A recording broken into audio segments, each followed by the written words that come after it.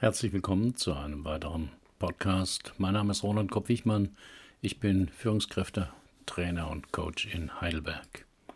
Das Thema heute: Durch den Unfall habe ich mein Leben zerstört, sagte der Mann im Coaching. Ob meine Praxis rollstuhlgerecht wäre, lautete die nüchterne Mail-Anfrage, ohne Anrede, ohne Begründung der Frage. Ich überlegte einen Tag, ob ich auf die Mail antworten sollte, denn Unhöflichkeit kann ich nicht leiden. Dann schrieb ich doch zurück, auch ganz knapp. Leider nein. Warum ist das wichtig? Pling! Die Antwort des Unbekannten kam fünf Minuten später in Form eines Links auf einen Artikel im Ärzteblatt, nachdem nur rund ein Drittel der Arztpraxen in Deutschland ohne Treppen zu erreichen wären. Die erste Kontaktaufnahme eines Klienten ist für mich immer aufschlussreich, denn daran zeigen sich erste Informationen über den Menschen und seine Art, mit anderen in Beziehung zu treten. Zeigt er, wie beschäftigt er ist? Mein Chef, Dr. Huber, möchte gerne ein Coaching mit Ihnen vereinbaren. Nennen Sie mir mindestens fünf Termine. Strapaziert er meine Geduld? Gegen Ende eines dreiseitigen Anschreibens mit Lebenslauf, Therapiegeschichte und erfahre ich, dass der Klient skeptisch ist, ob ich ihm überhaupt helfen kann. Macht er mir Schuldgefühle? Ich finde Ihre Honorare reichlich überzogen, zumal Sie mit dem Leid anderer Ihr Leben finanzieren. Gibt es einen Sondertarif für Menschen wie mich, die sieht er in mir einen mächtigen Zauberer? Sie sind meine letzte Rettung. Ich war bei allen wichtigen Heilern und keiner konnte mir helfen. Jetzt lege ich mein Schicksal in Ihre Hände. Verlangte Beweise meines Könnens. Bitte schicken Sie mir eine Aufstellung Ihrer Coaching-Ausbildungen und eventueller Zusatzfortbildungen. Will er Sie mein Mitleid erregen? Ich bin nur eine kleine russische Frau mit schlechtem Deutsch. Mein Mann will, dass unsere Ehe besser werden soll und würde ihr Honorar bezahlen. Aber ich glaube nicht, dass mein Problem wichtig genug für Sie ist. Aber egal, was jemand mir schreibt, ich nehme prinzipiell fast jeden, der fragt. Denn jeder ist in Not und ist nicht durch Zufall auf meine Seite gekommen. Und ich mag Herausforderungen. Weil der Zugang zu meiner Praxis nicht barrierefrei ist, bot ich an, das Drei-Stunden-Coaching in einem Hotel in Heidelberg zu machen. Der Unbekannte willigte ein. Sie müssen mir helfen, damit aufzuhören, mein Leben zu zerstören. Zwei Wochen später empfing mich mein neuer Klient in der Penthouse Suite des besten Hotels in Heidelberg. Marcel Z., Inhaber einer Softwarefirma, 36 Jahre alt. Kaffee, Tee, Wasser? Grünen Tee, wenn es nichts ausmacht, antwortete ich. Welche Sorte? Jasmin, Giocada oder Bancha? Dann Jasmin, entschied ich mich. Bis der Tee kam, stand ich auf und bewunderte den Blick auf das Heidelberger Schloss, meiner Geburtsstadt, den ich von hier noch nicht kannte. Wie sich herausstellte, war der Klient in Mannheim geboren, lebte aber jetzt in Stuttgart. Sie müssen mir helfen, damit aufzuhören, mein Leben zu zerstören, kam Marcel Z. gleich zur Sache. Mit 18 hat mich ein Autofahrer umgefahren. Aber es war meine Schuld. Er hatte Vorfahrt. Er hatte keine Chance, mir auf dem Fahrrad auszuweichen. Und seitdem sitze ich in diesem verdammten Ding stieß der Klient hervor und schlug mit der Faust auf die Armlehne seines Rollstuhls. Dieser Unfall hat mein Leben zerstört. Wie ein Klient sein Problem schildert, also welche Geschichte er darüber erzählt, ist wichtig für mich. Geschichten bestimmen sein Anliegen, seine bisherigen Lösungsversuche und seinen Engpass also die Erklärung, warum er das Problem immer noch hat. Geschichten bestimmen, wie der Mensch sich verhält, warum er sich so fühlt und welchen Sinn er aus einer Situation abgeleitet hat. Die Geschichten, die Menschen über sich erzählen, sind immer subjektiv. Deswegen erzählen Paare oft den gleichen Vorfall völlig unterschiedlich. Mit der Geschichte bestimmt der Erzähler, welche Information betont und welche ausgelassen werden. Sie ermöglichen oder verbauen die Perspektiven, die ein Mensch über sein Leben hat. Diese ausgelassenen Teile einer Geschichte sind besonders bedeutsam für mich. Meine Fragen dienen dazu, Intentionen, Wendepunkte und unbewusste Bedeutungen aufzuspüren. Wenn ich verstehe, auf welche Weise und warum der Klient seine Geschichte so erzählt, können wir wahrscheinlich gemeinsam eine neue Geschichte schreiben. Die Bedeutung hinterfragen. Sprache ist nie neutral.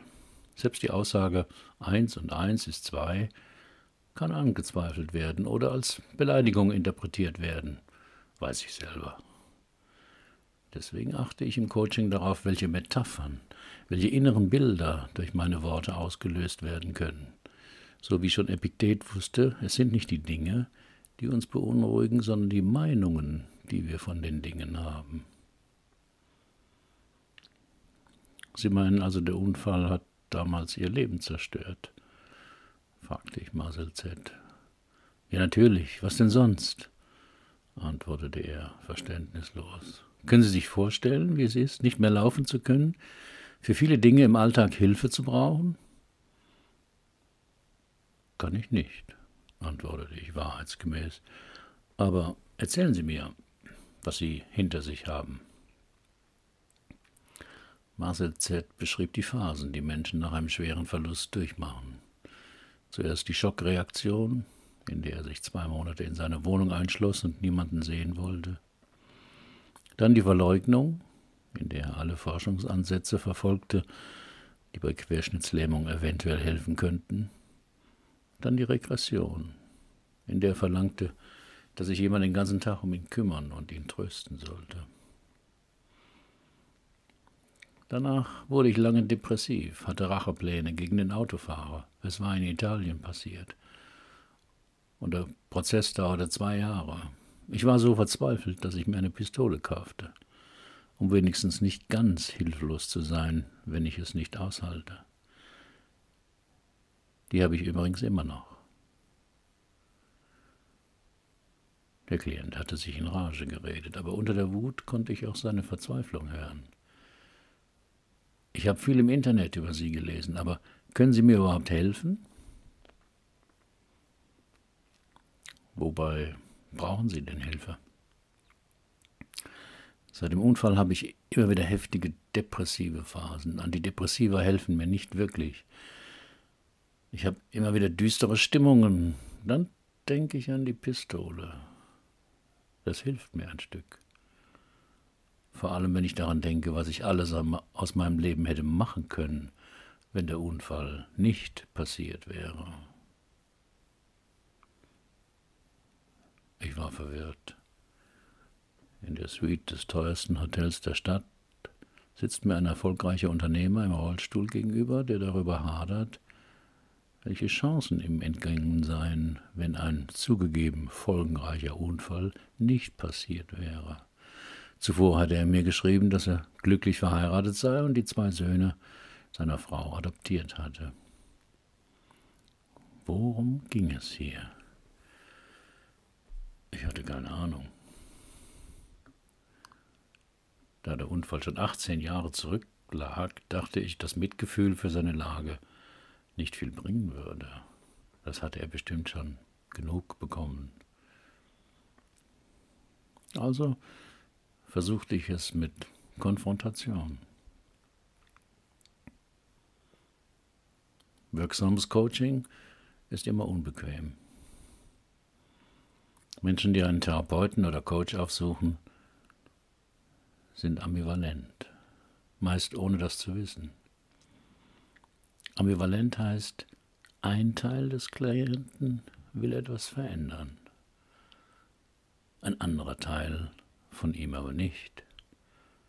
Denn sonst hätte er schon etwas verändert. An nützlichen Informationen fehlt es dem Klienten selten. Doch meist ist der Teil, der nichts verändern will, stärker als der Teil, der etwas verändern will.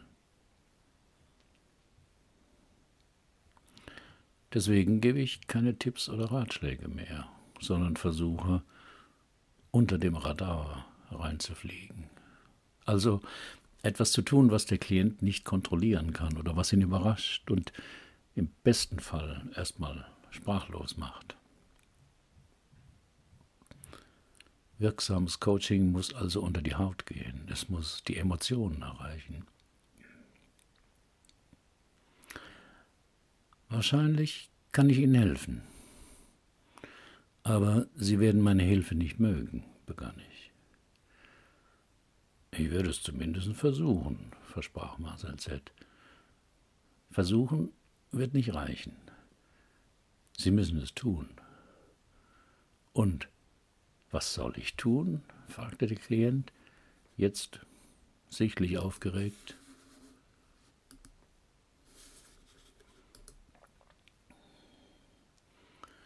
Ein Weg, den Klienten auch gefühlsmäßig zu erreichen, ist Spannung. Ich brauche an bestimmten Stellen im Coaching die volle Aufmerksamkeit des Klienten.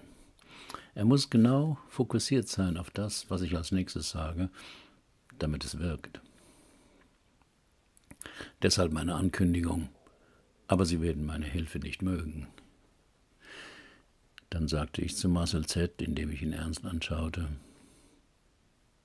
ich will, dass wenn unsere Sitzung vorbei ist, Sie Ihre Pistole holen und sie in den Neckar werfen. Wie erwartet reagierte der Klient geschockt und rief dann erregt, Nein, niemals, das werde ich nicht tun. Sie wollten meine Hilfe. Ich sagte Ihnen, dass Sie sie nicht mögen würden. An dem Punkt sind wir jetzt, antwortete ich ruhig. Was soll das bringen, meine Pistole wegzuwerfen? Ich sehe den Sinn darin nicht. Die Pistole ist Ihr Schlupfloch, Ihr Rettungsanker. Wenn Sie glauben, dass etwas unzumutbar für Sie ist oder untragbar oder zu unbequem, dann behalten Sie sich das Recht vor, abzuhauen. Das ist Ihr Schlupfloch. Wenn Sie das nicht schließen, werden Sie nichts verändern. Ich darf dieses Schlupfloch nicht schließen, sagte Marcel mit Panik in der Stimme, sonst hat mein Leben keinen Sinn. Ich brauche eine Wahl. Und die Pistole gibt mir diese Wahl. Ich kann mich jeden Tag für das Leben entscheiden oder eben für den Tod.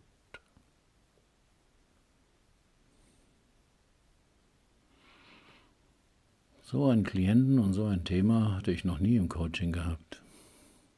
Im ersten Moment dachte ich, dass das drei Nummern zu groß ist für mein drei Stunden Coaching. Ich schlug eine Kaffeepause vor, die auch Marcel Z. gelegen kam. In der Pause erkannte ich den Engpass in den Marcel Z. sich mit seinem Schlupfloch manövriert hatte. Für ihn war es ein Ausweg, doch entweder oder Lösungen beschränken immer die Auswahl und verengen den Blick, welche Wege es noch geben könnte.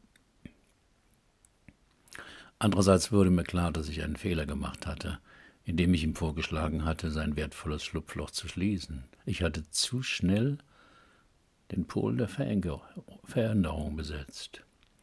Wenn man das macht, besetzt der andere automatisch den anderen Pol, die Nichtveränderung. Und die Fronten bleiben starr. Jeder hat zwar gute Argumente für seine Position, aber es kann sich nichts bewegen. Das ist vor allem dann der Fall, wenn man für einen Veränderungsimpuls keinen Auftrag hat und aber dennoch hilfreich sein will. Eltern kennen das von ihrem Kind. Mir ist langweilig. Dann lies doch mal das Buch, das du zum Geburtstag bekommen hast. Keine Lust auf Lesen. Oder geh runter auf die Straße und spiel mit den Jungs. Will drinnen bleiben. Hm, worauf hast du denn Lust? Weiß ich nicht, mir ist eben langweilig.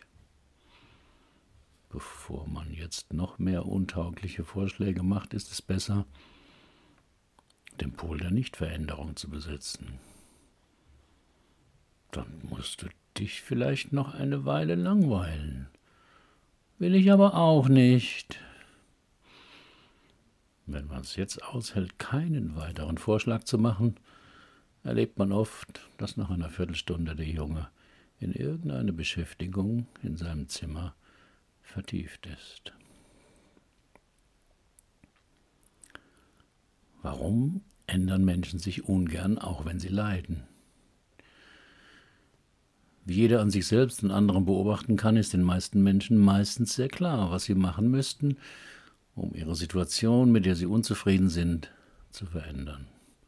Sie müssten respektvoller miteinander umgehen, besser für sich sorgen, klarere Ziele formulieren und verfolgen, weniger essen, mehr essen, mehr lieben, nichts aufschieben und so weiter. Dennoch scheine vielen Menschen unbewusst viel dafür zu tun, damit gerade dies nicht geschieht. Warum oder wozu, kann man da verzweifelt fragen. Die Antwort darauf ist bekannt und einigermaßen verstörend. Die Veränderung ist bedrohlicher als das empfundene Leid.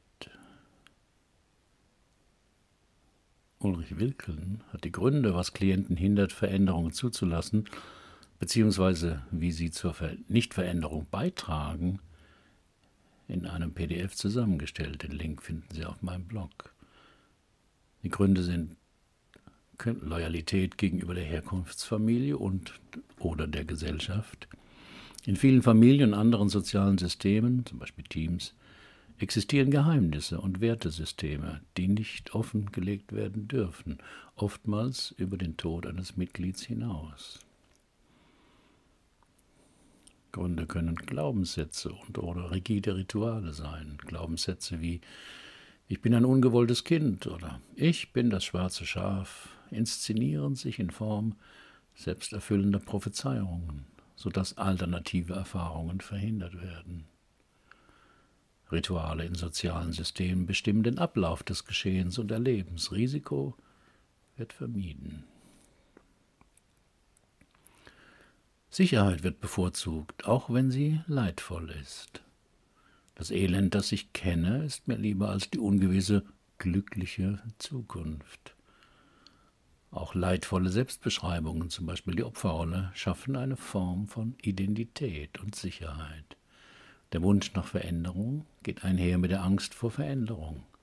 Dadurch bleibt alles, wie es ist. Der Grund kann liegen in einem Misstrauen gegenüber der Zukunft der Veränderungssituation in der eigenen Geschichte bedrohlich war. Wenn Menschen in ihrer Entwicklung die Erfahrung gemacht haben, dass Veränderungen, zum Beispiel durch Scheidung, Trennung, Tod, Abgeben des Kindes an die Großeltern etc. mit massiven Ängsten einhergegangen sind, so haben sie nicht gelernt, dass Veränderungen basierend auf Liebe und Vertrauen nicht bedrohlich sein müssen. Oder das Aufdecken von Geheimnissen wäre zu bedrohlich. In vielen Familien gibt es Tabus und Geheimnisse, die manchmal über Generationen hinweg das innerfamiliäre Leben bestimmen. Eine Veränderung oder gar Aufdeckung bedroht das gesamte System. Sorge und Schuld sind in vielen Familien starke Bindeglieder. Deren Aufhebung wäre zu bedrohlich, da Vertrauen nicht entwickelt wurde. Wo nicht Respekt und Achtung Bindeglieder sind, treten Ersatzbindeglieder an ihre Stelle. Auch Probleme und Krankheiten können starke, aber leidvolle Bindeglieder sein. Der Grund liegt vielleicht im Hänschen-Klein-Syndrom. Aber Mutter weinet sehr, hat sie nun kein Hänschen mehr, geht das Lied. Gerade für junge Erwachsene ist die Ablösung vom Elternhaus eine öffentlich gewünschte, aber doch vielfach bedrohliche Vorstellung. Oder das Handschuhsyndrom. Der andere ist schuld, wenn es mir schlecht geht. Kein Wunder, kein Wunder, liebe Mutti, dass ich mir die Hände erfriere. Du hättest mir ja Handschuhe mitgeben können. Der Grund kann liegen in erst du, dann ich. Viele Klienten externalisieren mögliche Veränderungen auf den Partner. Wenn du dich veränderst, verändere ich mich auch und umgekehrt. Dass in dieser Form keine Veränderung möglich ist, versteht sich von selbst. Beide sitzen wie das Kaninchen vor der Schlange und warten, dass sich etwas tut. Oder die Illusion, ich schaffe es noch, den anderen zu verändern, steckt dahinter. Für viele Menschen ist die Hoffnung, dass sich irgendwann etwas verändert wird, die einzige Möglichkeit, das empfundene Leid zu ertragen. Je länger diese Illusion andauert, desto schwieriger wird es, aus diesem Spiel auszusteigen. So neigen zum Beispiel Frauen dazu, die von Männern geschlagen werden, zu diesen zurückzukehren. Kurz zusammengefasst lautet die Antwort auf die eingangs gestellte Frage, warum ändern Menschen sich ungern, auch wenn sie leiden? Nichtveränderung stabilisiert das System. Und Nichtveränderung reduziert Enttäuschungserwartungen bzw. Befürchtungen. Die Ambivalenz verteidigen, statt sie aufzulösen versuchen. Jeder, der beruflich mit Menschen zu tun hat, kennt dieses Veränderungsdilemma. Der Klient sagt, dass er etwas verändern will, man zeigt ihm die notwendigen Schritte, aber bei manchen Klienten fruchtet das nicht. Sie scheinen nicht zu kooperieren. Als Non-Compliance bezeichnet man die mangelnde Mitarbeit bzw. Kooperation des Patienten bei einer medizinischen Behandlung, zum Beispiel die Verweigerung einer Therapiemaßnahme oder die Nichtbefolgung von Verhaltensregeln. Der Arzt erklärt genau, wie oft und wie lange das Medikament einzunehmen ist. Doch der Patient hört nicht richtig zu, vergisst die Empfehlungen oder widersetzt sich. Die Physiotherapeutin zeigt die Übungen, die der geplagte Rückenschmerzpatient zu Hause machen soll. Beim nächsten Mal hört sie viele Gründe, warum der Patient dafür keine Zeit hatte. In der Corona-Krise hatte Deutschland einen vergleichsweise günstigen Verlauf. Denn die meisten Menschen hielten und halten sich an die behördlichen Auflagen. Doch in anderen Ländern, wie auch hierzulande teilweise, zeigen Regierungen wie Einwohner eine, eine erschreckende Non-Compliance, weil sie die Maßnahmen als unnötige oder willkürliche Einschränkung ihrer Freiheit erleben.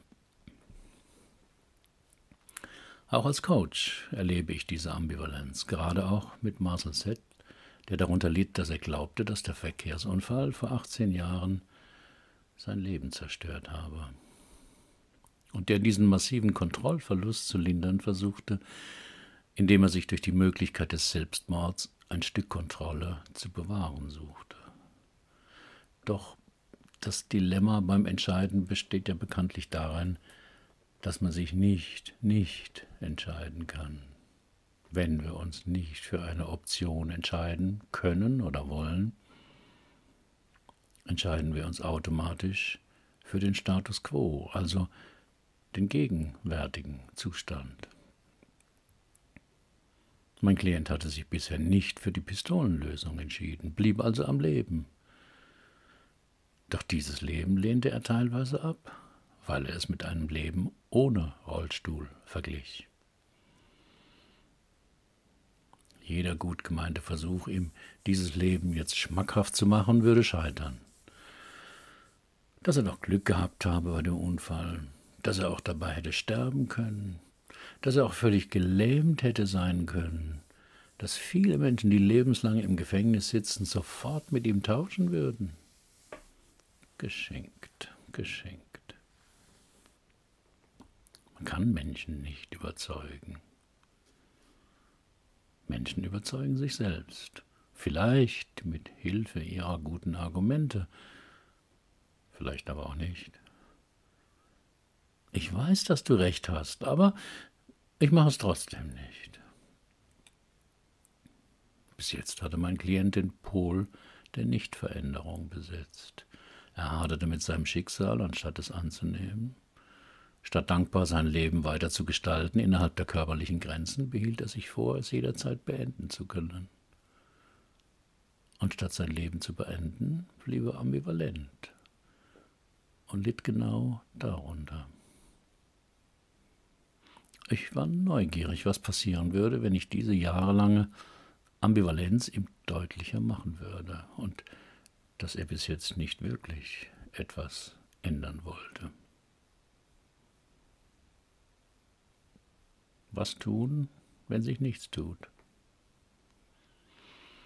Erst in den letzten zwei Jahren habe ich durch die Beschäftigung mit systemischer Literatur besser verstanden, warum Menschen sich weigern, sich zu verändern, warum sie viel Energie in diese Nichtveränderung stecken und worin mein Beitrag als Coach bei manchen Klienten bestand, diese Nichtveränderung zu stabilisieren. Hauptsächlich dadurch, dass ich mich zum Anwalt der Veränderung machte, was manche Klienten dazu einlud, sich mit der hartnäckig, hartnäckig und erfolgreich mit der Nichtveränderung zu verbünden. Um diesen Fehler nicht zu wiederholen, sagte ich zu Marcel Z. Vor 18 Jahren haben Sie einen schlimmen Unfall erlebt. Als Folge davon sitzen Sie im Rollstuhl. Das hat sie aber nicht daran gehindert, ein erfolgreicher Geschäftsmann zu werden. Auch ihr Privatleben mit ihrer Frau und ihren beiden Kindern hört sich sehr positiv an. Und dennoch hadern sie seit Jahren mit ihrem Schicksal, fallen immer wieder in depressive Zustände und haben sich sogar eine Pistole besorgt, um sich nicht völlig hilflos zu fühlen. Aber bisher haben sie von der Waffe keinen Gebrauch gemacht weigern sich aber auch, sie wegzuwerfen. Marcel Z. hörte mir aufmerksam zu, nickte immer wieder zu dem, was ich sagte. Er war wohl gespannt, worauf ich hinaus wollte. Sie sagen, der Unfall damals habe ihr Leben zerstört. Das sehe ich anders. Jetzt blickte er mich noch gespannter an. Der Unfall hat ihre Fähigkeit, ihre Beine zu benutzen, zerstört. Deswegen brauchen sie, um sich fortzubewegen, diesen Rollstuhl. Aber der Unfall hat nicht ihr Leben zerstört. Das machen sie selbst.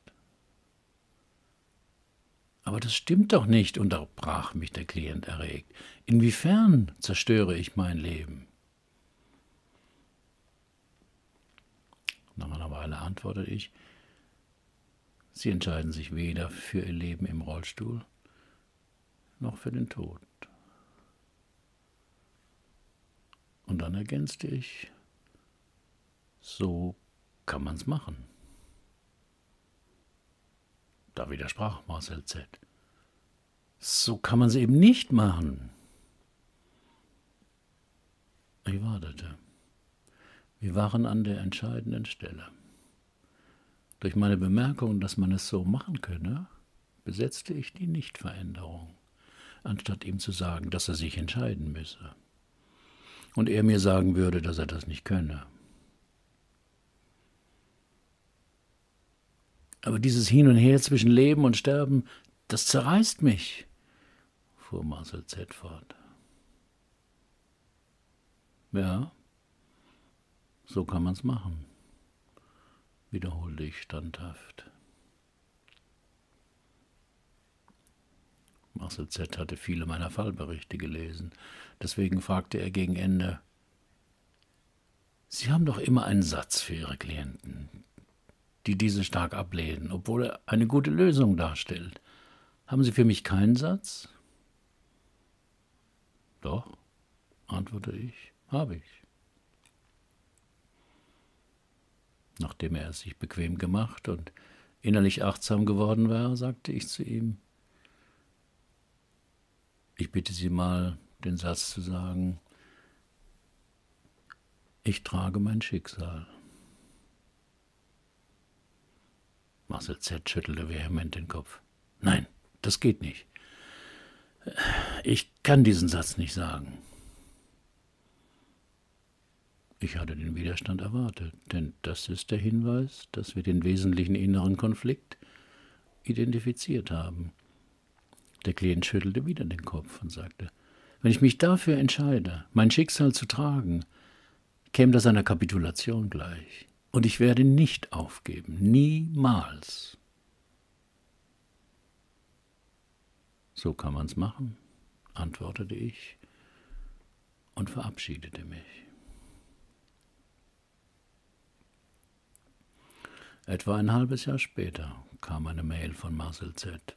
Er sei nach dem Coaching sehr aufgewühlt und ratlos gewesen und auch wütend auf mich, weil ich ihn so hängen gelassen hätte, gar keine Richtung oder einen Weg zur Lösung aufgezeigt hätte. In der darauffolgenden Nacht habe er aber einen Traum gehabt von einem Mann, der sein Leben lang davon sprach, dass er aus Deutschland auswandern wollte und es nie tat, dem es in Deutschland nicht gefiel, der von einem Leben in Uruguay träumte, aber sich nie aufraffen konnte. Ihm sei klar geworden, dass er der Mann im Traum war. Und im Nachgang sei ihm wieder dieser blöde Satz von mir eingefallen. So kann man's machen. Aber er wolle so nicht weitermachen und habe seine Pistole im Internet an einen Waffenhändler verkauft und das Geld einem Verein für Suizidprävention gespendet. Und er habe seine langjährige Partnerin, mit der er die zwei Kinder habe, nach zwölf Jahren geheiratet. Herzlichen Dank für Ihre Aufmerksamkeit. Bis zum nächsten Mal. Haben Sie auch ein Problem, das Sie bisher nicht lösen konnten? Dann buchen Sie auch ein 3-Stunden-Coaching oder kommen Sie in mein Seminar Lebensthemen klären. Nur sechs Teilnehmer, zweieinhalb Tage, ein Coach. Wir finden die Lösung dort, wo Sie noch nie gesucht haben. Sind Sie Coach oder arbeiten Sie intensiv mit Menschen und wollen lernen, auch so zu coachen? Ich biete eine Fortbildung an.